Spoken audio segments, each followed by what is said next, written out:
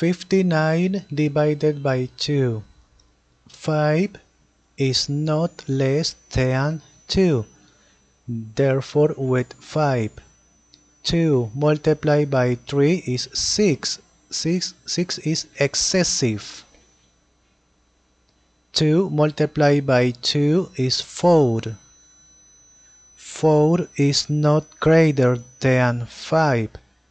5 minus 4 is 1. 9. 19. 2 multiplied by 9 is 18. Subtract 1.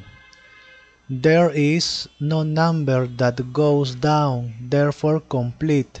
Always complete with 0 and here with point.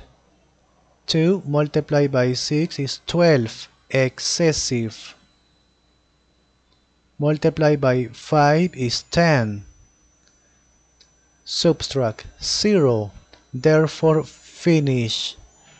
59 divided by 2 is 29.5. Okay.